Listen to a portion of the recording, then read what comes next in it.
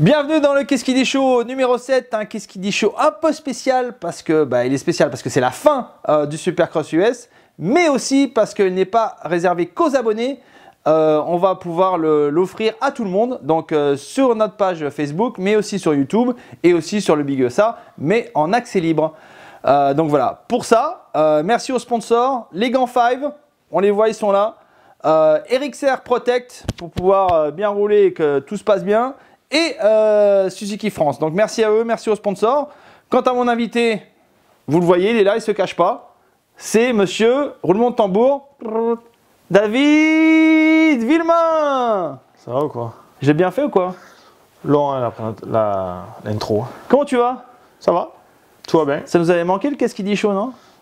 C'est bien d'être à la maison, tranquille. Euh, on commence tout de suite pour le programme qui s'affiche là à votre gauche. Donc euh, on va parler évidemment euh, des titres 250 avec Plessinger et Osborne. On va parler bah, du titre de Jason Anderson. Je pense qu'il y a beaucoup de choses à dire. La saison de Marvin, le cas Elitomac. Qu'est-ce qui s'est passé cette année avec Elitomac On va revenir sur les meilleurs moments parce que j'ai demandé à David de, de choisir des meilleurs moments. Il a travaillé, il a bossé tard hier soir pour trouver tout ça. Des news de Dylan Ferrandis, parce qu'on va pro- en profiter que tu sois là. Et enfin, on va parler de l'outdoor. Voilà. C'est parti, David? Feu.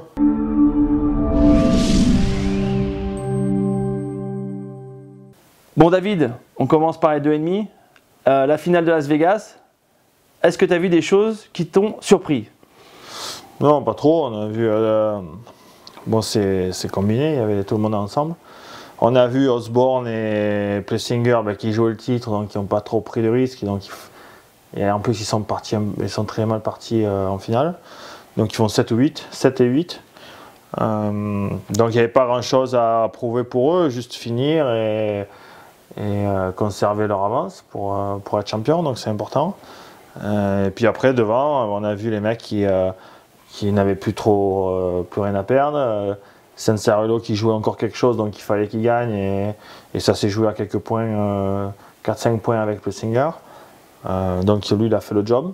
Je trouve qu'il a quand même pas trop, mal roulé euh, par rapport à ce qu'il a montré cette année. Et puis après, bon, le reste, ben voilà, je ne connais pas les résultats euh, exacts, mais euh, on a vu deux, champions qui ont roulé euh, un peu en, en sécurité euh, pour assurer le titre. Et puis les autres qui se sont un peu euh, horsouillés un peu devant pour, euh, pour gagner la course. On va parler plus précisément, euh, plus précisément euh, de, de la côte ouest avec Karine Plessinger qui a gagné 4 fois. Est-ce que c'est quelqu'un que tu avais vu venir en début de saison? Bon, pas qu'en début de saison, ça fait un moment quand même qu'il est, qu'il est là et qu'il gagne des courses. Euh, euh, je sais pas combien il a fait l'année dernière, mais euh, euh, il était là. Il, a gagné, euh, il avait gagné Vegas dans la boue, euh, rappelez-vous, euh, il y a deux ans. Il avait gagné quelques courses déjà avant de venir. Donc les, jeunes, comme, ils, sont, quand même jeunes, mais ils ont quelques saisons dans les pattes. Donc automatiquement, quand tu continues, tu as toujours dans un bon team. euh, euh, tu t'entraînes assez régulièrement, régulièrement, tu as des entraîneurs, des, des bons circuits pour s'entraîner, les mecs ils travaillent, ils veulent gagner. Donc automatiquement, quand les meilleurs s'en vont, donc euh, qui, est- qui, qui qui c'est plus parti ben, Web, des mecs comme ça, euh, des mecs qui, qui, qui montent en 4,5, automatiquement hop, ça monte euh, les mecs de derrière. Mais euh, donc ouais, c'est vrai que cette année il a quand même pas mal roulé, sur des circuits assez piégeux il est, il est très fort où il y a des ornières, tout ça. Et ouais, je pense que c'était le, mec le plus régulier. Et- il n'y a pas de, y a pas question à se poser. C'est, le pilote sur la côte ouest qui mérite d'être champion. T'aimes bien le, le- le- le personnage Plessinger? Euh, non, pas du tout. Pas du tout? T'aimes pas les danses T'aimes pas les trucs un Non, peu. euh, ça c'est un peu trop. Enfin, fait du. Oui, je, je suis pour euh, se faire plaisir, faire des, euh, des sauts pour le public, des whips, des montrer qu'on se fait plaisir en moto et, et donner un peu de quelque chose au public en plus que de partir devant gagner. Hein. Mais tout ce qui est à côté. Sauter dans la boue euh, à Seattle non, je- je- non Sincèrement, je ne sais pas si c'est moi qui ai un problème, mais je trouve ça complètement ridicule. Les mecs, ils ont tout le monde à adorer, c'était top et tout. Tout le monde sur les réseaux sociaux se, se pignole à moitié là-dessus. Je trouve que c'est nul. C'est, moi, je suis Yam, je, vois, je le paye, euh, euh, je vais le, le payer euh, cette année peut-être un million de dollars avec les bonus et, les- et le salaire. Quand je vois ça, je ça vaut un million de dollars ça en, en image. Pas chez moi, mais bon, peut-être que je suis vieux et que c'est pas trop mon truc. Mhm. Moi, je pense que les, les, euh, les trucs comme ça, c'était bien quand, c'était Rossi qui le faisait. Il y a une vingtaine d'années, ou 15-20 ans, il y a toujours, il y a toujours une connerie à la fin des Grands Prix. Je trouve que c'était quand même cool, c'était recherché, il y avait quand même. euh, mais pff, faire le l'escargot, le, la limace, je sais pas ce qu'il fait là, et faire le l'asperceur, je trouve ça nul. C'est complètement nul. Le casse de Romain euh, à la Ouais, conférence de À la presse. limite, ça, à la limite, ouais. C'était pour- rigolo. Voilà, pourquoi pas. Ouais. Je vois pas vraiment le. euh, je vois pas le, le rapport. Si tu veux, peut-être s'il y avait eu. Non, il euh, n'y en avait aucun, à vrai dire. Alors, on ouais, lui a posé c'est la question en conférence c'est de presse. voilà, il a c'est- dit c'est que. ça, en fait, qui est un peu. En fait, si, si tu veux faire un truc qui sort d'ordinaire, tu sais que tu vas. T'as, t'as, t'as 900 sur 10 d'être champion, ben fais quelque chose. Euh, À Las Vegas, t'as les. T'as les. Euh, les Dark Knights, je sais pas quoi, comment ils s'appellent les, euh, les, les Golden Knights. les Golden Knights. Ah, ok. d'arriver. voilà. Ok, sur glace, donc mais un truc de, de chevalier à la limite, Mhm. tu vois, un truc qui, qui a un peu un rapport, quoi, tu vois. Non, je trouve ça, je trouve qu'il est cool. Bon, il est redneck à bloc, hein, c'est, bon, il y a peut-être des paysans qui nous regardent, mais c'est, pas péjoratif ce que je dis, mais c'est, un peu du terroir le mec. Donc là, tu le mets sur devant de la scène, il est un peu. euh, Non, je trouve pas ça exceptionnel. non. Euh, Santirello, on avait un peu parlé dans, dans le dernier Qu'est-ce qu'il dit euh, DV euh, où je t'avais demandé justement, est-ce que tu pensais que Santirello, euh, c'était, il était déjà has-been, il, revenait il revient de blessure, il a du mal, et tu m'avais répondu non, tu- Stéphane, c'est, c'est pas le cas. Euh, il gagne à Las Vegas, enfin. Tu crois que c'est le déclic qu'il lui fallait? C'est la première course qu'il gagne cette année? Ouais. Mais il avait gagné Las Vegas l'année dernière, non? Exact. Il a déjà gagné des courses, donc euh, tu peux pas dire que, on peut pas dire qu'il est has-been. Il a eu euh, euh, des problèmes de blessure les deux premières saisons. Quand, quand je dis qu'il est has-been, c'est que c'était, c'était le, le celui qui monte, on Le en parle depuis Carmichael, des le années, poteau. Exactement, exactement. Ouais, mais mais il y en a un appel des mecs comme ça. Tu vois, le Cooper Webb, c'était ça devait être le nouveau euh, King des Kings. Il se traîne, euh, je veux dire, il n'y en a pas beaucoup. Regardez un peu les, les résultats des championnats. je veux dire, il va être à Dungey qui en a gagné 3, Vilopoto qui en a gagné 4, euh, Stewart 2, Carmichael 5. euh, je veux dire, des, vraiment des machines de guerre, et il n'y en a pas beaucoup. hein. Et il y a euh, 20 pilotes sur la grille euh, tous les ans. Donc euh, euh, c'est dur de. On monte trop les gens euh, euh, de suite, oh, le futur ci, le futur ça. C'est, comme en foot. Je veux dire, euh, si vous suivez un peu le foot, euh, l'exemple parfait, c'est Marvin Martin, quoi. Euh, qui joue à Sochaux, je sais pas où, il fait première sélection d'équipe de France, il met deux buts, ça y est. Il joue un peu la position de Zidane, c'était le nouveau Zidane parce qu'il met deux buts. Depuis, euh, il a joué à Brest ou à Dijon ou je sais pas où. euh, Il, il met pas un pied devant l'autre. Donc il faut se calmer, quoi. Je veux dire, et, surtout là, il faut aussi réaliser que la catégorie de demi, c'est c'est c'est- c'est le championnat de ligue. C'est c'est deux ligues. C'est Est-Ouest, c'est divisé en deux. Euh, c'est des deux demi, donc c'est plus facile, c'est plus domptable qu'une 4 demi. Et on voit bien que le, palier est énorme entre la 2,5 et la 4,5. Pas beaucoup de, mecs, à part des Dungey, des. euh, Peut-être, voilà, euh, qui a gagné sa première année. Les autres, ont tous eu du mal. Tous du mal. Bon, Roxane, ça va, euh, ça, ça s'est bien passé. Mais euh, il faut quand même rester sur les pieds sur terre. Ce ne sont que des pilotes de demi, et c'est un championnat divisé par deux. Le, ce qu'il faut faire, ce championnat, en fait, euh, c'est un stepping stone, comme on dit, un tremplin Mhm. pour, euh, pour faire des résultats et avoir un, un bon team, une bonne machine pour l'an 4,5 et continuer le travail. Et, et, Mais et voilà quoi, C'est en re- 4,5 c'est re- et c'est être remis, en cause ça en ce moment. Et on est en train- ils sont en train de parler de savoir s'ils veulent pas faire un championnat en entier. Ils veulent, ils, sont- c'est en train, ce tremplin est remis en cause. Oui, mais le tremplin, il faut que ça reste un tremplin. Moi, je suis, je suis OK. Ils veulent faire un championnat sur autant de courses que les 4,5. Non, mais je trouve que c'est pas bon. Moi, je ferais le la catégorie de demi, c'est il faut que ça reste un tremplin et que ça soit accessible à des privés, des mecs comme Mhm. Padron qui payent leur moto. et ils veulent pas, qui habitent en Californie, il faut qu'ils aillent à Foxborough, à Saint Melbourne, faire une course. Donc C'est- faire deux fois moins de courses, tu veux que ça reste. Non, Toi- il, faut, il faut pas que ça soit un demi, il faut pas que ça soit un championnat majeur. Mais il faut leur donner moins d'importance. Il faut qu'ils gagnent moins d'argent.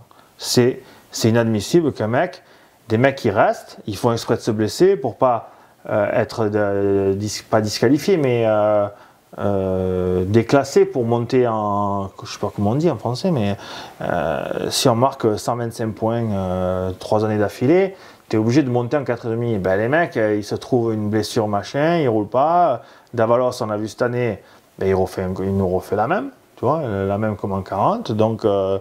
Eh ben, il, est blessé, euh, il roule pas trop bien, il se blesse un peu, ben, il va louper 2-3 courses, comme ça il marque pas le nombre de points pour monter, et il va pouvoir encore rester. Les mecs, ils gagnent trop d'argent, et, ils et ils restent. Pourquoi aller dans, un, dans une catégorie plus dure qu'à 4,5, euh, avec tout le monde ensemble, euh, pour gagner moitié moins, et faire aucun bonus et pas gagner un championnat? Je les blâme pas, les pilotes qui font ça c'est l'industrie que je blâme, moi. C'est l'industrie qui donne euh, sur un championnat de 8 courses 500 000 dollars au vainqueur. Je trouve ça mais, mais, mais d'une nullité. Et, ça, en fait, on garde les mecs en bas, des Osborne, ben, des Martin qui restent. Un, mec comme Martin, il gagne 500 000 dollars par an avant de rouler. Pour rouler en 2,5. C'est n'importe quoi. Ces mecs-là, il faut qu'ils roulent en 4,5 déjà. Là, il faut que ça soit une catégorie de jeunes. Après, un Grand Prix, euh, on a le parallèle en Grand Prix où il y a une limite d'âge. Moi, je trouve que la limite d'âge, c'est quand même bien.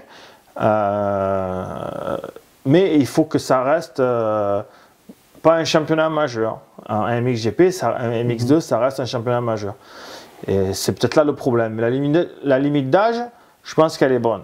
il y a aussi, on peut faire une limite de, comme en sport US, une limite de salaire salaire, de bonus et tout ça. Il faudrait qu'il y ait un gentleman agreement avec toutes les usines, tous les teams, où eh ben, il y a du salary cap. Les mecs, s'ils vont gagner que 50 000 dollars par an au lieu de 500 000, et que les sous, ils sont en haut, et en fait, tous les sous qui sont là, euh, je veux dire, c'est pas Geico qui paye, c'est pas le team Geico, c'est Honda, c'est American Honda. Chez Yam, eh ben, c'est Yamaha qui paye pour Star. Chez Kawa, ils payent pour, euh, pour circuit. Tu vois, c'est pas Mitch Payton qui paye les pilotes, euh, l'argent vient de chez Kawa. Donc si cet argent, ben, ils ne le dépensent pas sur les deux demi, ils vont pouvoir en dépenser plus sur la 4,5 mhm. et avoir deux, trois pilotes. Et après, on aura euh, une catégorie euh, d'élite. Tu vois, l'élite américaine sera dans la catégorie 4,5. Parce que pour l'instant, on ne peut pas, parce qu'il ben, y a des mecs, tu as des Osborne. Moi, j'aimerais bien voir Osborne en 4,5, il faut monter. Je veux dire, à l'époque, euh, les Brachot, ils, moi, à 16-17 ans, ils étaient en 2,5 de temps. Ils pas, s'en foutaient dans 125. Et maintenant, on fait des carrières en 2,5. Pourquoi? Parce qu'on donne des titres, on donne des, bonus. Ils gagnent 50 000, euh, dollars par course, 500 000 par championnat. Il faut arrêter. C'est n'importe quoi. Et c'est pour ça qu'il il faut arrêter ça. Tu, penses que c'est un, choix délibéré de ces pilotes de, rester en 2,5 ou, ou c'est euh, c'est Kawa ou c'est euh, qui décide euh, parce que du coup ils, peuvent avoir un champion plus longtemps. Évidemment, tout le monde se sert du système, que ce soit l'industrie, que ce soit le euh, parce que bon, il faut bien qu'ils vendent des deux demi aussi les mecs. Bon, c'est pas c'est un championnat porteur. Ils voient les mecs devant. donc les, usines, il faut qu'ils soient présents en 4,5, mais aussi en 2,5 parce que si tu veux, euh, aux yeux de, ben, de la télé, c'est presque euh, les mêmes retombées.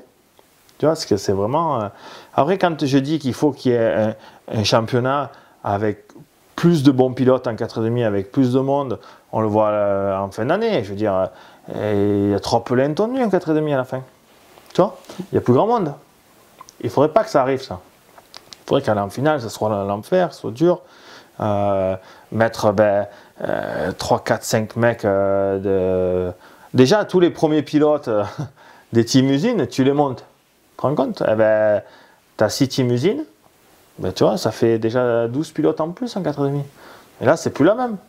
Là, c'est bien. On a vu Josh Hill, Justin Hill performant d'entrée de jeu. On a vu Martin l'année dernière, il fait 2 à Daytona. des mecs comme Christian Craig, qu'est-ce qu'ils font de demi, tu vois? Donc, ils roulent pas trop mal en, Bon là, c'est sûr qu'ils font des top 5, et il y a la moitié plus de la moitié des top pilotes qui sont pas là, mais ils, ont leur place, tu vois, euh, pour rouler en 4,5. Mais c'est des mecs qui gagnent trop d'argent et qui n'aurait pas de, guidon pour rouler en 4,5. Justement, tu, tu, tu- tu mentionnes euh, Justin Hill. Qu'est- Qu'est-ce qui s'est passé avec Justin Hill cette année? Euh, Il dominait l'année dernière, il passe sur, euh, sur une autre équipe, JGR, et du coup, on- tu vois ce que je veux dire? Non? Ouais, ouais.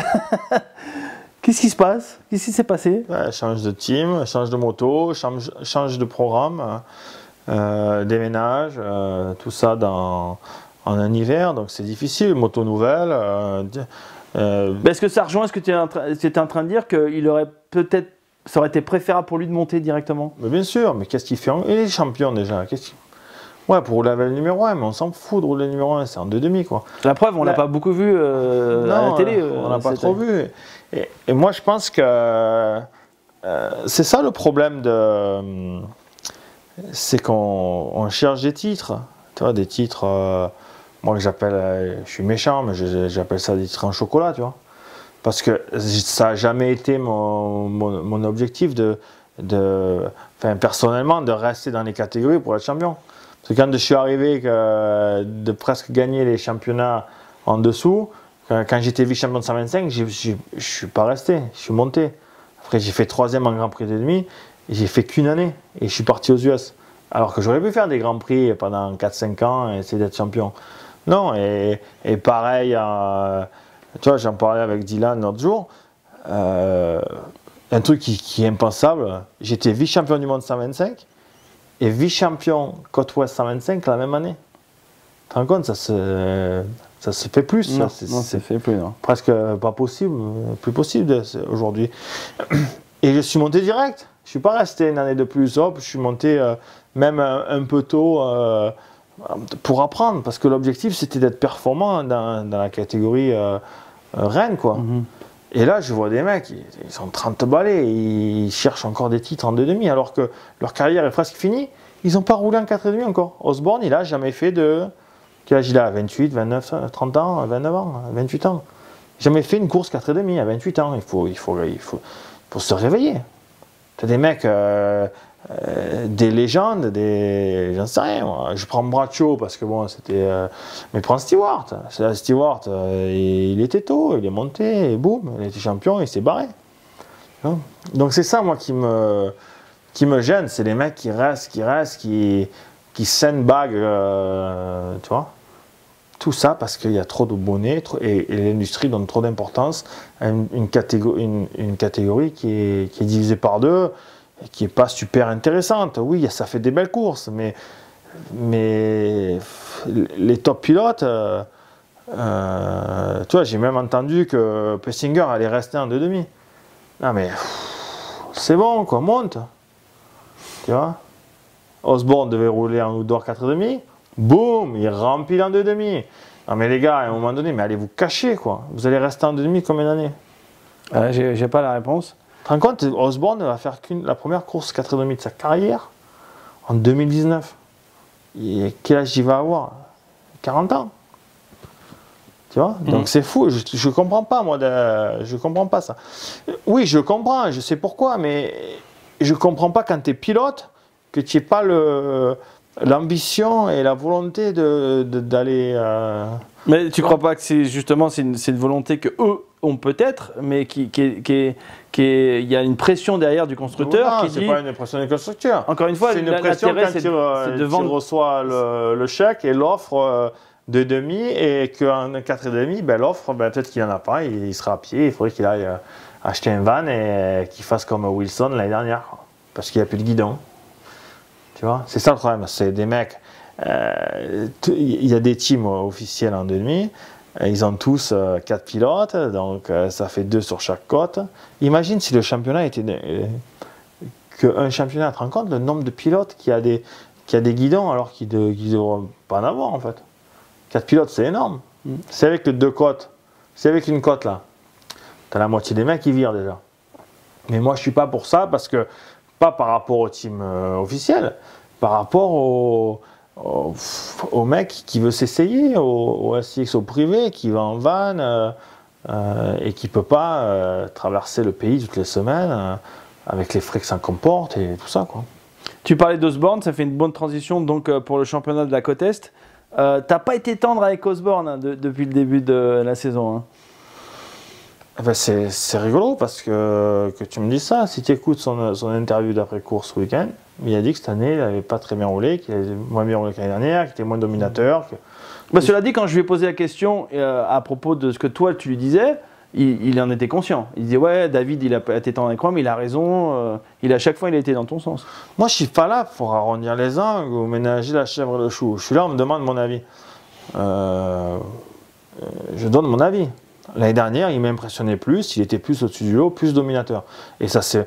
À part deux, trois courses cette année où euh, on l'a vu dominateur et c'était pas mal, mais beaucoup moins que l'année dernière. L'année dernière, même quand il gagnait pas, où il tombait au départ, où il tombait, où il revenait comme une flèche et tout, dès la première course cette année, j'ai dit, Hmm, c'est pas le même. Et dans son pilotage, comme il roulait, moins de, c'était moins chiadé, c'était c'était saccadé. Euh, Ça, c'est des trucs que je vois parce que c'est, je baigne dedans depuis des années. Euh, et oui, et on l'a vu toute la saison. Il a, il a cravaché pour. euh, pour être devant, quoi. Et Et c'était beaucoup moins facile pour lui. Et je vais aller dans ton sens. C'est juste pas, c'est justement pas un signe pour se dire. euh, j'ai peut-être fait le tour. C'est peut-être- le moment que je me donne un nouveau challenge et, et que j'aille en 4,5. Non, mais le signe, et le signe, il est. Tu fais le doublé l'année dernière. T'as, je sais pas, t'as plus de 25 ans. Non, mais c'est bon, monte. Qu'est-ce qu'on s'en fout Le Ton team, il a des Ouais, 4,5. mais Cela dit, cela dit et ces, ces pilotes-là, ils pensent pas aussi au record parce que si s'ils gagnent la Odor cette année, ça sera le seul à avoir fait en, en- en deux ans quatre titres. On s'en fout, ça. ça- Non, je, je sais pas, je. Ouais, euh, euh, c'est joli comme record. Personne l'a fait. Ouais. Personne l'a fait. Non, personne l'a fait. Personne l'a fait euh, Mm-mm. double-double? Non, pour une fois que je sais un truc que toi tu sais pas. yes. Ah non. Ouais, Ricky l'a pas fait. Non. Euh, Ryan non. Donc est-ce que c'est pas aussi une motivation ça? Non. J'ai ça. Je- J'essaie de, de me ça, faire l'avocat du diable. C'est vraiment un peu une stat en bois quand même. Ok. Non? Enfin, C'est beau quand même. Deux années, quatre titres, euh, ça le fait. Ouais, ça fait euh, 500 000 par titre. Mm. Allez. Ok. Bon. Euh, la côte Est aussi, c'est la déception euh, Dylan Ferrandis. Je crois que tu es, bien passé pour le, le- en parler. Ouais. Euh, déception ben, pour, pour toi, pour nous, pour Bah, les de toute façon, là, c'est 100% ma faute, hein, c'est comme d'habitude. Donc, euh, Est-ce que tu il est crois- tombé au départ à Dallas, c'est ma faute. Est-ce que tu crois Et il a, pris, il, il a pris un ballon à l'appel du triple, c'est ma faute aussi. Il s'est pété le bras, c'est ma faute. Est-ce que tu crois, parce qu'on parle de Osborne, est-ce qu'il aurait été capable de battre euh, Zach Osborne? Ouais, tu peux pas, ouais, tu peux pas dans, un Ah, canapé en disant ça. Si, si, si. Je pense qu'il Je fais un peu de journalisme, hein, un peu de people. Non, parce qu'il était loin au championnat après Dallas. Euh, je pense qu'il aurait pu faire un ou deux à Atlanta le, le week-end où il a gagné. Euh, on n'avait pas vu encore Dylan. Il faut savoir que Dylan euh, revenait. Dallas, c'était sa première course depuis euh, euh, juillet. Depuis, ouais, Buzz Creek. Juillet, août. Mm. Donc, six mois, facile. Plus de six mois, sans course. Donc, il est arrivé un peu la gueule enfarinée à Dallas. Tendu, évidemment. Tampa euh, devant. Euh, deux toute la manche derrière Faulkner. Euh, D'ailleurs, rappelle-moi de dire un tour sur Faulkner, que Mhm. j'avais annoncé aussi. Je l'ai Euh, noté. et euh, donc Dylan commençait à revenir donc à Atlanta, en première manche il fait deux, donc c'était quand même pas mal à l'épreuve de la Triple Crown. Bon, en deuxième, il se met la gueule par terre il se pète le bras, des dents, une mâchoire, euh, donc il se fait bien la totale à cause d'une connerie, tu vois. Sorti trop large d'un virage et a tapé un ballon à l'appel d'un triple. Euh, mais je pense qu'il il commençait à se relâcher un peu. Et, Dylan, c'est un mec qui veut, qui, pas mettre la charrue avant les bœufs, mais trop, vite euh, avancé. Tu vois, je suis obligé tout le temps de le tenir. Dans un sens, c'est un avantage. Dans un autre sens, c'est un inconvénient. Tu peux pas gagner d'entrée. Il faut y aller crescendo. Ça, c'est comme en physique. En physique, il faut prendre son temps. Il faut faire les choses comme il faut. euh, Il faut être patient. Il faut être patient. Il faut être répétitif. Il faut être sérieux. Puis ça, crescendo. Et je pense que sans sa blessure, il serait monté un peu, tu vois. On, on- essayé de le calmer beaucoup. Euh, surtout euh, dans les deux dernières semaines avant, avant l'ouverture du championnat, on voyait qu'il était vachement excité au, terrain et tout, il fallait un peu le, calmer. Dans un sens, c'est bien parce qu'il il veut gagner, il veut aller vite, euh, il veut monter un 4 demi tôt. Et là aussi, je lui dis, mais tu as le temps de monter. Regarde les mecs, ils font des. Là, il faut utiliser, le système. Et surtout que lui, euh, il a fait euh, une saison et deux courses et demie en, en supercross. Il a 10-12 courses. Donc il n'a a pas beaucoup d'expérience. Et oui, je pense qu'il aurait été. Euh, quand je vois comment ça se déroule, ouais, il y a de quoi être déçu, surtout pour lui. Pour moi, non, parce que ce que je lui ai dit au départ, hein, que tu gagnes ou que tu fasses 5, le, travail c'est le même. Donc après, c'est à lui de, de faire euh, ce qu'il sait faire le samedi. Euh, mais je pense qu'il y avait quand même un coup à jouer. Et non, je pense qu'il est, est très, très, très, très bon.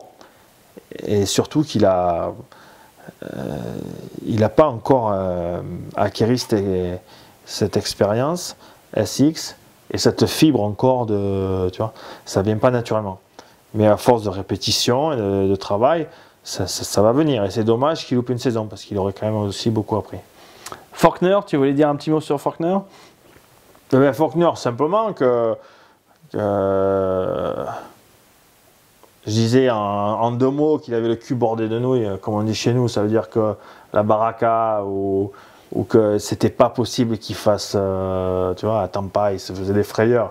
Il a gagné, il a fini, il euh, c'est bien. moi, je me demande encore comment il a fait parce que c'était bouillant.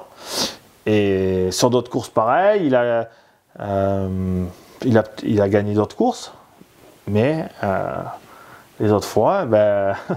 il a fini euh, à l'hôpital. Hein. donc, euh, ce qui devait arriver arriva. Euh, donc voilà, c'est une petite parenthèse pour ceux qui disaient Ah, mais Faulkner, il est en bois et tout. C'est facile. De, moi, je peux aller rouler là et envoyer grave. Hein. Mais à un moment donné, je vais monter en l'air. Tu vois C'est ça le problème.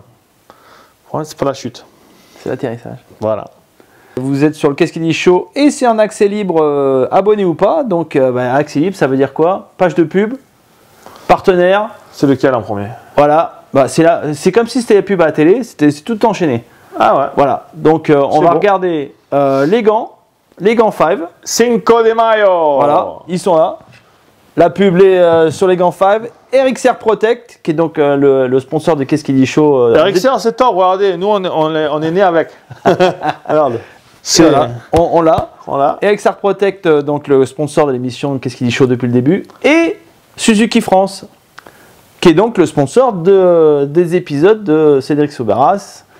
Donc euh, on envoie la pub, c'est parti pour les vidéos de nos partenaires.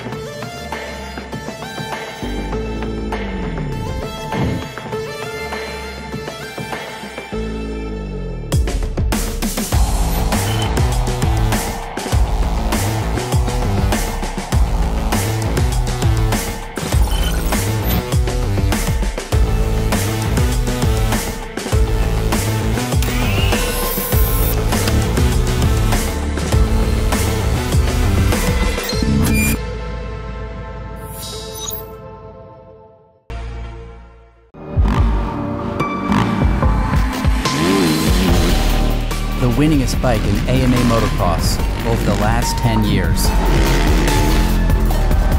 enters a new era.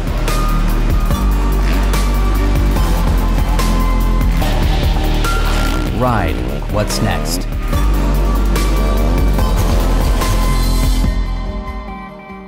The all new 2018 RMZ 450.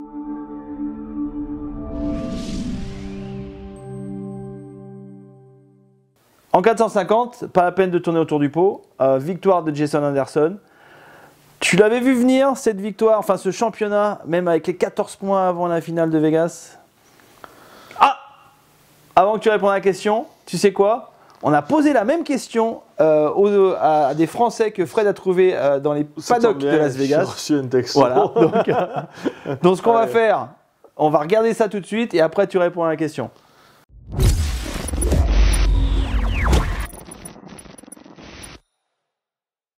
Tout le monde est pour Marvin, yes, il va gagner Euh, il va y avoir une grosse bagarre euh, entre Marvin, Tomac et puis euh, bien sûr Anderson.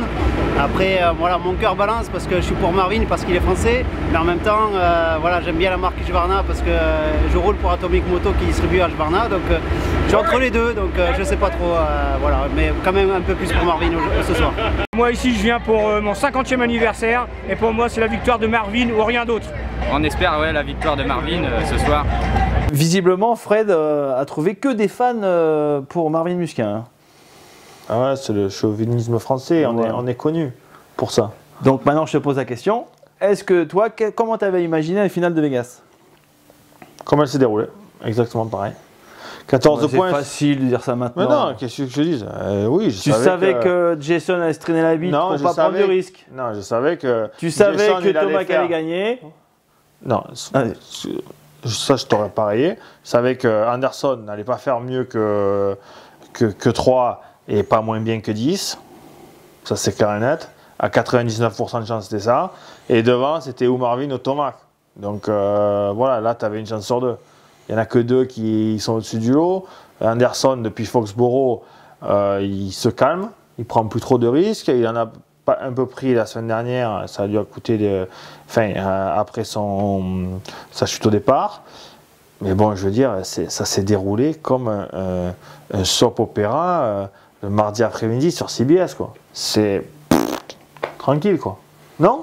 Oui. Ça s'est déroulé exactement comme ça devait se dérouler. Mais, Mais toi, toi qui aimes que bien tu- la Non. fougue de Jason, etc., est-ce que y a pas, pas été déçu qu'il aille pas plus au charbon? Mais non, au contraire, il a été au charbon jusqu'à Foxborough. À Foxborough, il a fait, allez, 4-5 tours au début, il a essayé. Il a vu que le circuit était chaud, c'était salonneux, il y avait des, cailloux, des ornières, c'était chaud. Il a dit c'est bon, je fais 3, j'assure des points. Et après, il restait deux courses. Qu'est-ce que tu veux qu'il va mettre sur la cabane, sur le chien? Il, il, va gagner un championnat qu'il va peut-être jamais regagner. Il aura jamais la, il, sera jamais dans cette position encore. hein. Tu vois, peut-être l'année prochaine, euh, au bout de trois courses, c'est lui qui aura 40 points de retard et ce sera fini. Euh, moi, je pense qu'il faut saluer, euh, euh, sincèrement, il faut saluer le, championnat d'Anderson. Moi, je, l'adore, j'adore le personnage, j'adore le pilote parce qu'il se donne, mais, sur 14 courses, il a donné le max. Tout le temps, même quand il est tombé au départ. J'ai revu une course d'ailleurs, je ne me rappelle plus laquelle. Il tombe au départ, il revient 4, quoi. Il avait là 40 points d'avance. Il pourrait ne pas aller faire 7-8. Il pouvait. Mais non, il a fait le max, il est revenu 4. Je ne sais pas si c'est pas Indianapolis d'ailleurs, un truc comme ça. Euh, il se- il s'est donné, il a voulu gagner, il a voulu battre euh, Marvin, il a voulu battre euh, Tomac, même quand il avait une grosse avance au championnat. Et je pense ça, il faut le saluer. Mais les trois dernières courses qu'il le prenne tranquille, c'est normal. Denji, pendant 3 ans, il a pris tranquille. Ou 4 ans, ou 5 ans. Et il a fait le podium, il n'a pas pris de risque, il, il gagnait quand il fallait ou quand il était en position 2. Euh, euh, non, c'est un bon champion. Après, les autres qui se mettent la gueule par terre, c'est leur problème, putain. Oui, Thomas, qui est meilleur. Euh, Thomas, qui a gagné la moitié des courses les deux dernières saisons. Il a gagné 17 courses sur 34. Eh ben, il rentre une main devant, une main derrière. Mais c'est vrai. C'est vrai. L'autre, il se met la gueule par terre à la première épreuve. Marvin, eh ben, il, il prend pas. Comment, il, comment on dit Il il- il n'arrive pas comment on dit en français? Quoi? Arrive pas à quoi? C'est quoi le mot en anglais Capitaliser. Capitaliser. Voilà, il capitalise que sur deux courses. Il se met la gueule par terre comme un con à Houston. euh, dans- Tu sais pas comment il se fait mal, tu vois? Euh, ben, un peu comme euh, Faulkner d'ailleurs. Euh, je veux dire, et les mecs disent ah, il a de la chance. Ben non, mais il reste sa moto, il s'est donné, il est champion. Je veux dire, voilà. Et les mecs, euh, ben, Thomas, il n'est pas champion. Ça fait deux ans qu'il gagne toutes les courses presque. Se met à... un moment donné, il faut appeler un chat un chat. Et je trouve que ce qu'a fait Anderson est, remarquable cette année, surtout pour un mec qui n'était pas euh, euh, vraiment à 100% favori. On donnait quand même plus Marvin avec l'hiver de Marvin à la fin de saison l'année dernière. Euh, comment il s'appelle euh, Tomac et Roxane. Roxane, euh, bon, il y avait un peu un, point d'interrogation, mais on voyait bien qu'il était revenu presque à son, meilleur niveau. Donc Anderson était un peu quatrième, le, qua- le quatrième homme. Et je pense qu'il il a gagné des courses, il a gagné quatre courses, comme Marvin, et puis champion. Cela dit, pour, pour, pour lui donner un peu de, de crédit, enfin si on a besoin, Jason était malade, a priori. Il a fait une intoxication alimentaire. Ouais, mais ils sont tous malades, bon. Non, non, mais encore une Non, fois, mais ça me gave ça. Ils non, mais- sont- mais... quand ils gagnent, ils sont tous malades. Là, là, ils n'ont pas roulé la semaine. Comme s'ils allaient oublier de, de, de, de- de rouler en une semaine. Oh, il n'a pas pu rouler. Oh, il a pris froid. Non, mais oh, il a mal à la gorge. Oh, ils me saoulent tous avec. C'est Ouais. bon. Mais Voilà. N'empêche pas que ça, c'était le cas. Il, il s'est levé de la conférence de presse, il était à deux doigts de, de, Non, mais ça arrive, ça. Tout le monde, euh, tout- ça arrive à tout le monde. Il faut qu'ils arrêtent avec ça. Les mecs, à chaque fois qu'ils qu'ils- qu'ils font une performance ou une contre-performance, il faut toujours qu'il y ait une, une- quelque chose. Mais on s'en branle. On s'en branle si t'as mangé du, du Mexos euh, qui est pas passé, que t'as la diarrhée, on s'en fout. Tu vois, roule et ferme-la, quoi. Il y a toujours C'est ce, qui s'est- chose. c'est ce qui s'est passé. Il a roulé et il a rien Voilà. dit. euh, Mais- Jusqu'à que. Mais tout le temps, on dit ça, oh, mais il a été malade, il n'a pas roulé cette semaine. Mais un mec comme ça qui roule pas d'une semaine, c'est peut-être bénéfique. Au moins, il va se reposer, il va arriver, arriver frais. C'est des mecs qui roulent euh, presque trop des fois en saison. Il faut arrêter avec ça. Oh, il est malade. Oh, hier, je suis pas bien dormi. J'avais un peu euh, cacamou. euh, ce matin, j'ai mal à la tête. euh, j'ai fait pipi jaune. euh, je fais pipi blanc d'habitude. Non, mais sérieux, il faut Oui, arrêter. oui, ça saoule, là. Ça, Donc, on passe. Ouais, On, passe. on passe. Tu l'as tu l'as abordé un peu tout à l'heure, mais je voudrais poser la question. Est-ce que tu crois que Jason, ça peut être un Jeff Hemming Dans le sens où je suis là au bon moment, je gagne un titre, un titre et après je Je vais te donner une disparais. stat.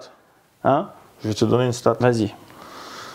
Qui répond à ma question Ou, ou Non, juste pour me donner une stat Non, avec, Pour euh, frimer avec Jeff Emig. Ok. Emig a été une fois champion, Ok. mais il a une course de gagné de. Ah, Il, a, gagné, une course de plus que. Il a 7 courses, Et je- 7 victoires. Anderson, il est euh, à 7, Ah, 6 ou 7. Ouais, c'est ça. Il en a gagné 4 cette année. L'année dernière? Bah, 2. Ou 3. Ouais. Ah, je suis en train de. Ah, en fait, tu peux le couper, ça. Coupe-le parce que tu m'as mis le doute. Je crois qu'il a que 6 victoires, mais peut-être qu'il en a 7. Non, il a 7. 7 7, ça, ça, j'en suis sûr. Ouais. Comme Emig et Parce que, à mo- même, même- qui Et comme qui? comme toi, Et comme qui d'autre? Euh, là, tu me poses une colle. Mais, mais tu dois le savoir, puisque c'est toi qui l'as dit sur un, un tweet, un tweet à un moment. Ouais. Donc, bref, tu nous embrouilles. Johnny Omar. Johnny. O'Mara. Donc, bref, Bon, les gars, La- j'ai pas de choses. Pour, pour répondre à la question. One time, one time wonder ou Non, pas? non, parce que il est meilleur. Emig était mauvais en SX. Ok. Et enfin, c'est peut-être dur de. Enfin, c'est un peu. euh, un peu méchant, peut-être de ma part. Mais c'est à 90% juste. Il était pas bon, Emig, en SX. Qu'Anderson est bon. Emig dans les housses, il était en marche arrière. euh, il était pas bon en franchissement. Il n'a jamais été un, euh, un très bon pilote. euh, c'est un peu un Jérémy Martin sur Jeff Emig.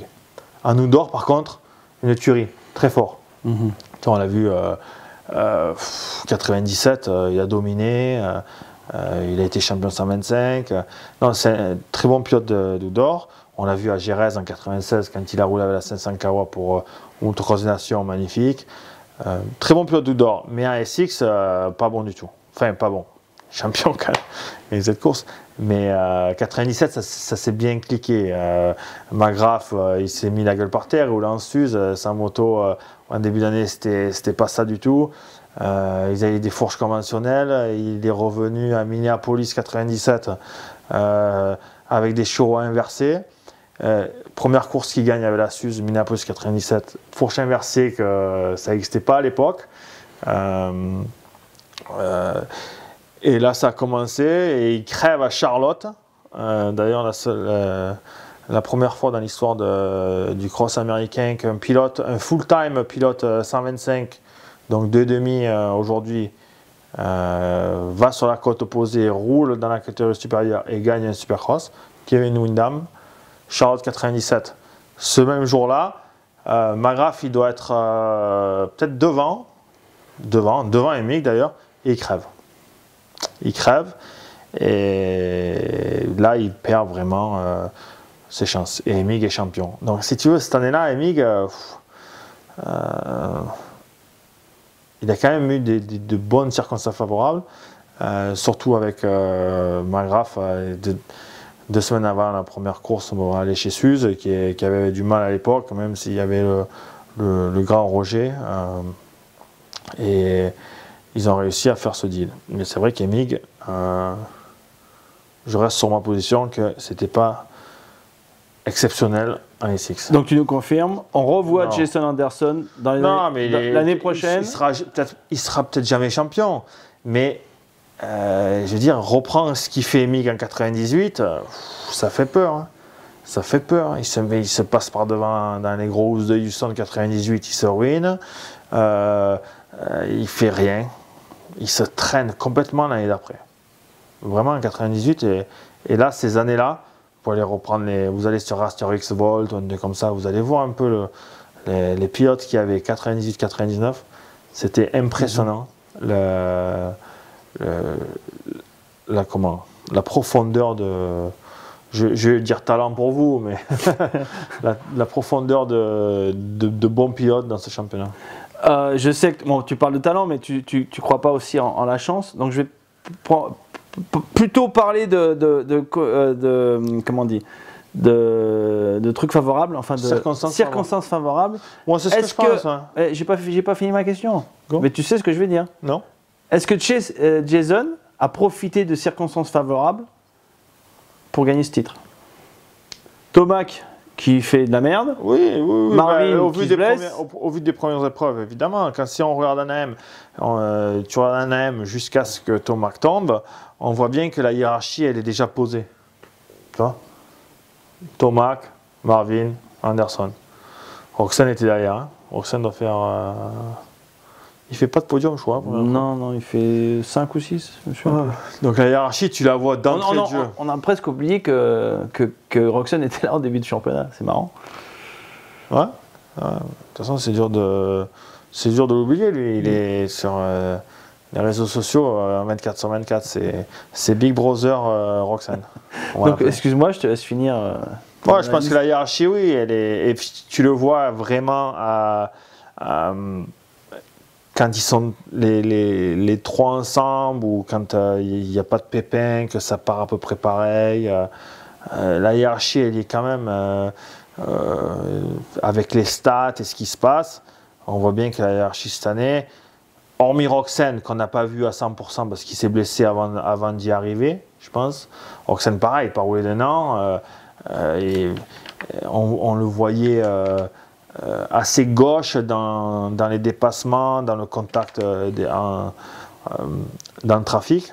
Donc je pense qu'il aurait fallu qu'il ait 4-5 courses avant, ou 6 courses avant de, bien le. Toi, c'était la sixième course, non Qui se fait mal Je pense qu'après, euh, tu vois, quand, quand, euh, le championnat euh, allait à l'Est, euh, sur des terrains plus meubles, plus adhérents, je pense que Roxane aurait été mieux. Euh, mais la hiérarchie, sans parler de Roxane, elle était quand même assez établie dans les, dans les premières courses. On, on voyait bien que c'était du Tomac. Et puis Tomac, quand il est revenu à moitié euh, comme il faut, il a gagné de suite. Euh, Phoenix, non euh, Je sais plus, mais Ouais, euh, j'ai aucune Phoenix. mémoire. Ouais, c'est euh, Phoenix, je crois qu'il gagne de suite. Euh, Euh, même si derrière ça poussait. euh, euh, D'ailleurs, Anderson a fait une, une course complètement euh, irréelle à, à Phoenix où il perd 4 ou 5 places dans les premiers tours. euh, il est 8 ou 9, il, manque de se ruiner. Donc, et après, il remet la machine en route, il revient, il remonte, il fait 4 pour sauver des points. J'ai trouvé que cette, course était magnifique d'Anderson. Enfin, complètement nulle au début et très bonne à la fin, mais intéressante à voir. Et oui, la hiérarchie, oui, elle était là. C'est, c'est Tomac, euh, Marvin, euh, Anderson, si tu veux. Et, et c'est le tiercé exactement dans le désordre qu'on a aujourd'hui.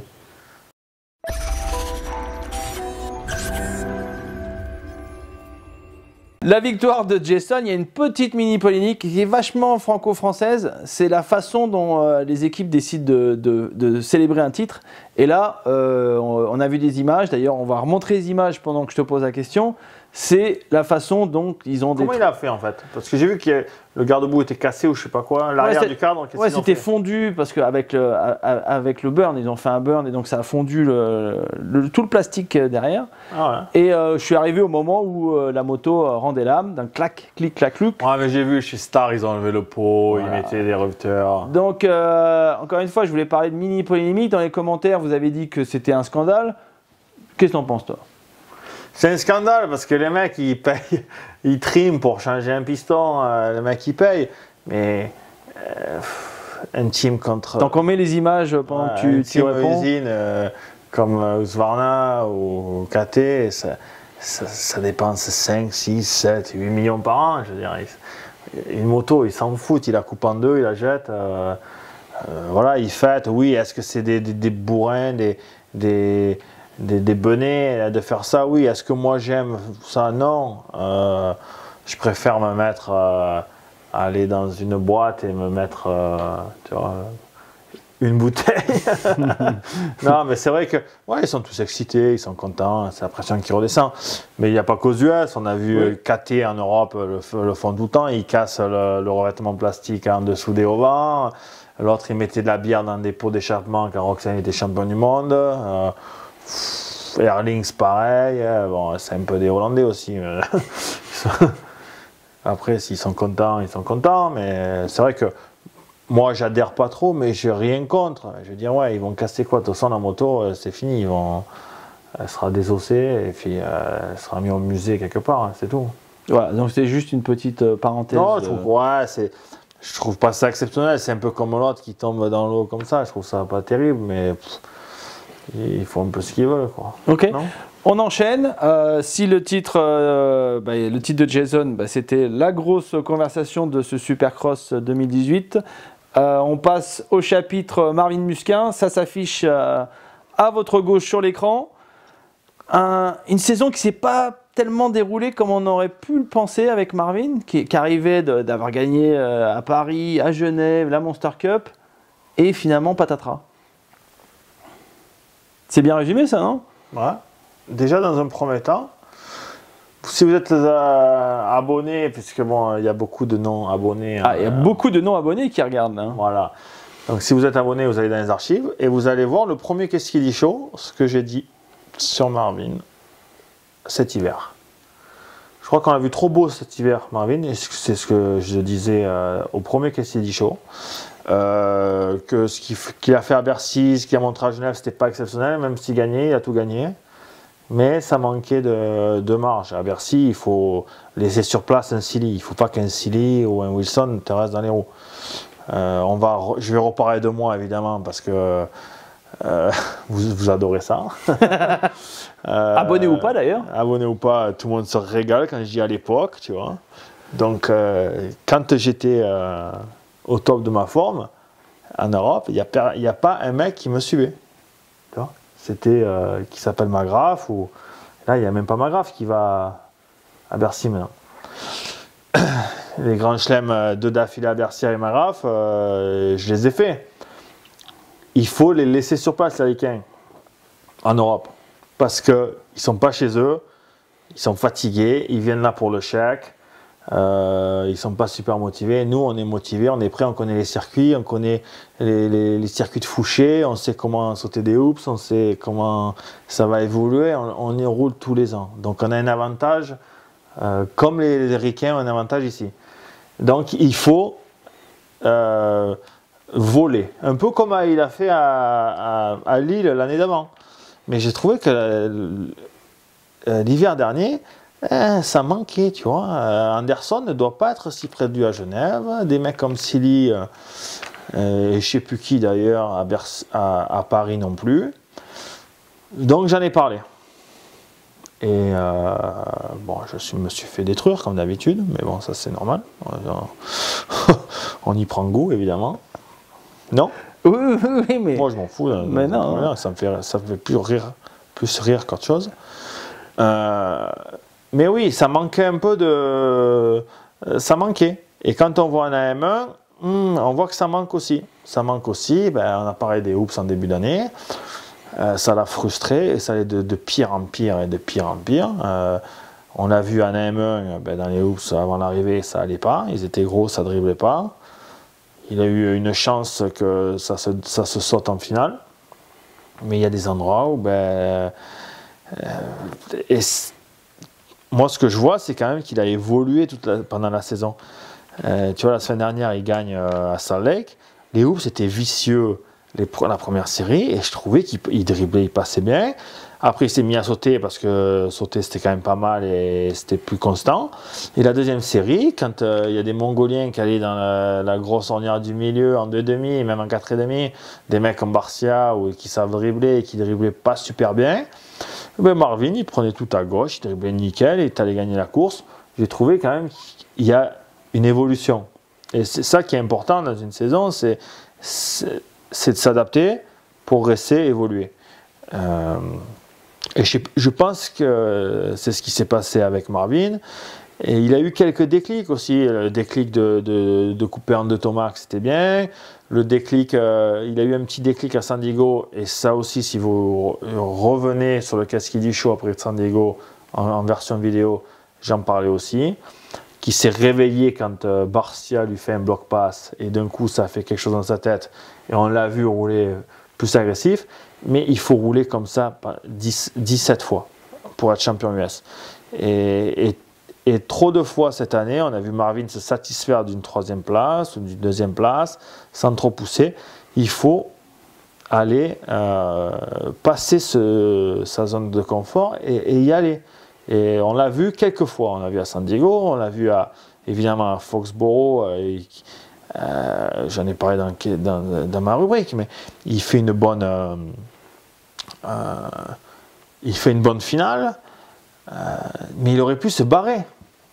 Jamais, euh, euh, si Marvin roule comme il sait faire sur un terrain piégeux comme ça, qui est quand même technique et il faut être fin où il, excelle, euh, il se met hors de danger dans les trois derniers tours et Tomac ne peut pas le doubler. Donc si Tomac ne double pas, il, n'a pas le coupé en deux dans le dernier tour. Euh, je pense que là, il y a eu aussi, euh, il aurait pu faire mieux. Euh, et puis, samedi, Vegas, euh, euh, il n'a pas eu le- la faculté de s'adapter en finale. Quand il a vu que, que Tomac, on parle de ce saut après le sable, là, tu sais, qu'il faut- que Tomac Mhm. faisait.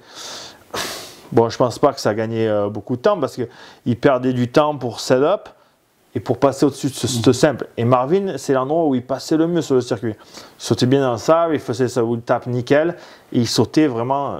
Marvin, c'était le mec qui sautait le plus loin. C'était impressionnant. Mais même à la télé, tu le voyais, c'était le mec qui sautait le plus loin. Et je pense que Marvin ne perdait pas tant de temps que ça. Tout le monde se pignole un peu sur Oh, Thomas, t'as vu ce qu'il faisait le, le pre-jump Mais sincèrement, le pre-jump qu'il faisait, c'était pas très dur.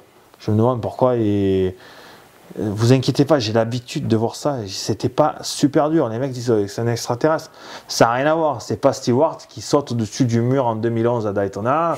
Euh, ce truc, c'est un building et l'appel, il est comme ça. Et il passe. si- S'il effleure un crampon, il meurt. Là, non, c'est complètement différent. C'est même, même pas sur la même planète, le truc. Donc, bref. Mais Marvin, il s'est pas adapté. euh, samedi, c'est dans les virages. Quand il est derrière Thomas, que- qui voit Thomas bien rentrer large dans les virages et faire des extérieurs, rester dans les ornières et pas s'arrêter et enrouler, il a commencé à le faire après le triple. Après le gros triple, Thomas qui a commencé à l'extérieur, il passait super bien avant la grosse partie glissante. Extérieur nickel. Là, Marvin, il a fait, mais pas assez.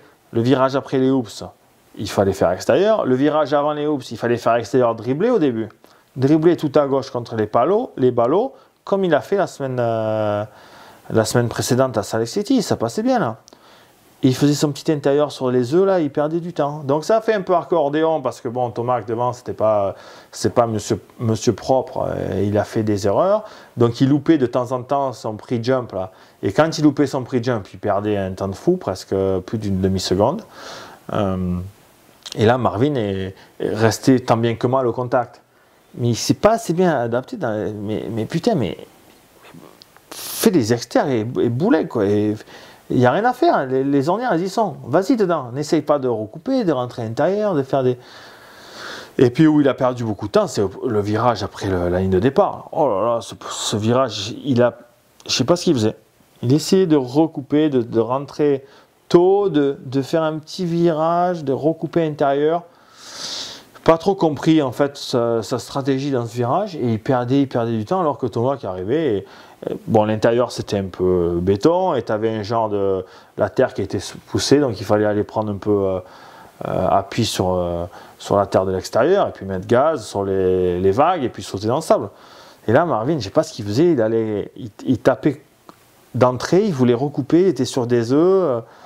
Vraiment, le, le premier virage du circuit, il a jamais su le passer comme il faut de, de la finale. Il a perdu du temps là. Pour revenir sur la saison dans sa globalité, est-ce que c'est on a un gros regret avec euh, ce qui s'est passé avec euh, Marvin Euh, le problème, c'est qu'on l'a, on l'a, on l'a donné champion trop tôt aussi. le soir d'Anem, on l'a donné champion, tu vois, donc euh, il restait 16 courses. Et euh, je pense que sincèrement, oui, il est tu, pas. tu crois que ça, pas- ça l'a, ça l'a desservi le fait qu'il gagne AM Euh, possible. Hmm? Possible. Vaut mieux faire deux et se faire laver les fesses par Thomas Canem que de gagner et que Thomas euh, Hmm, intéressant. se blesse. Ouais. Enfin, c'est que mon avis. hein. Mhm, Euh, tu apprends beaucoup plus dans la défaite que dans la victoire. mhm. Et ce qui s'est passé à Foxborough, ça aurait été mieux si ça s'était passé avant avec Tomac? Mais c'est ce que je. Parce qu'après, je suis en train de faire non, des scies là. Des ça scies, fait- euh, je ça coupe du bois là. Ça Mais, euh, fait 10 ans. Ça, ça fait 1000 ans. Allez, on va la faire à Marseillaise. Ça 1000 fait ans. 1000 ans que je dis que Marvin, il faut qu'il rentre dans les roues et qu'il se fasse sa place. Il veut trop euh, passer euh, gentil, euh, loin des pilotes. euh, Ou propre. non, mais il n'y a pas, c'est pas propre là. On n'est on pas. non. Il faut, Il faut y aller. Comme à Foxborough. Voilà, c'est ça. Tu passes un mec, tu, tu rentres dans les roues, tu, avec autorité. Après, tu vois les. Quand tu roules comme ça, les mecs, quand ils roulent contre toi, ils roulent différemment. Ben, tu le vois bien, tout le monde sait que Marvin, eh ben, au contact, il n'est pas très bon. Il se fait bousculer tout le temps, Marvin. Tu vois les mecs qui sont quand même très agressifs, les Pike, les machins. Pike, il va pas aller faire ça avec Thomas, hein, parce qu'il sait qu'il va se faire couper euh, son gradube, euh, le virage d'après, euh, en deux. hein. Tu vois? C'est pour ça il faut quand même mo- montrer qu'on en, on en a une paire et qu'il ne faut pas se faire marcher dessus. Et on l'a vu très bien à, à San Diego. Il s'est fait passer par je sais plus qui, machin, truc. euh. Il s'est passé par euh, Barcia à San Diego. euh, un peu à la Barcia. quoi. Bon, il n'a pas coupé en deux, mais il a fait sa place. Et d'un coup, Marvin, là, il a dit, mais merde, quoi. Ça lui a pas plu. Et là, il y a eu un déclic, un déclic d'agressivité. Il est retourné au charbon, et puis il est allé, il est allé passer Barcia, la Barcia. Et là, d'un coup, hop, ça s'est mis en route. Il est allé faire, euh, ben, je crois qu'il fait deux ou trois. ou- Il a quand même super bien roulé la deuxième partie de la manche, où d'ailleurs Anderson doit gagner. Mm. C'est ça ou pas? Ouais, c'est ça. Hein, Donc, euh, il- faut rouler co- comme ça tout le temps. Il faut arrêter, il faut arrêter de vouloir être aimé par tout le monde. Euh, il faut arrêter de faire le, gen- le gentil garçon. Il faut pas être gentil là. Tu vois, il faut. Oui, tu es en dehors. Oui, il faut pas sortir de. Faire plus que ce qu'il y a besoin d'être gentil, d'être aimé, tout ça. On s'en fout d'être gentil, d'être aimé. Tu Ouais, mais en même temps, ça va plus loin. ça, euh, Il faut- Marvin, Marvin il, rentrer, là. il est comme ça. Non, Donc, mais il est-ce faut- que non, mais alors, Marvin est un mec gentil Donc, comment tu veux sortir de, de ben, ce- si t'es un mec gentil, il faut aller faire de l'enduro, tu vois. Toi, tu roules tout seul, euh, c'est cool, quoi. T'es extrême là quand même. Non, ben, si t'es gentil, va faire de l'enduro. Toi, tu peux pas que- être méchant en enduro. Si t'es méchant, t'es méchant contre les arbres. C'est dur de, dur de gagner contre les arbres. Eh ben, tu crois de ce qui, ce qui s'est passé cette année, il a appris et on va le revoir en 2019 Euh, J'espère, j'espère. J'espère qu'il va faire sa place et, qu'il va jouer des coudes et qu'il va euh, des épaules. Il faut être comme ça. C'est le SXUS. Ce n'est pas de l'enduro. Euh, si le SXUS c'était le format enduro, Marvin serait top. Serait très bon.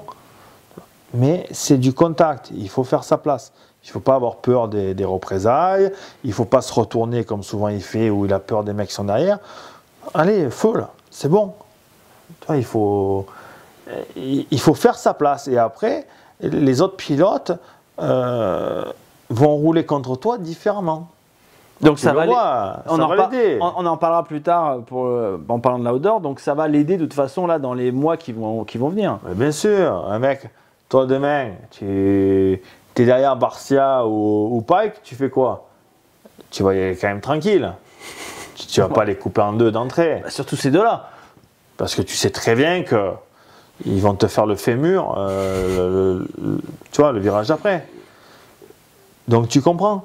Si c'est Marvin, tu vois, qui est, qui est en mode, euh, tu vois, euh, euh, petite brebis égarée, là tu vas, tu vas le, le, le muscle, tu vois, le, Mhm. comment Tu vas le bouger, quoi. Ouais, parce que tu sais que ben, il va pas trop résister, parce qu'il est pas bon là-dedans. Mais s'il commence à, tu vois, à faire du Foxborough et à montrer que maintenant, arrêtez vos conneries parce que maintenant je sais le faire aussi, il va moins se faire marcher dessus.